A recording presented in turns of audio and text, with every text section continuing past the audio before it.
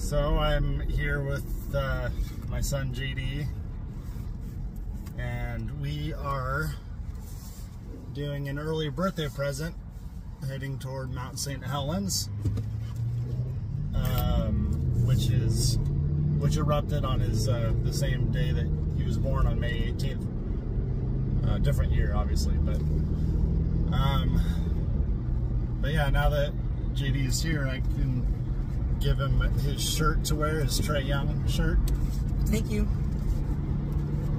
because we're actually going to see Trae Young play the Portland Trailblazers. But really? Yep, Thank you so much, Kat. you're welcome. Happy, happy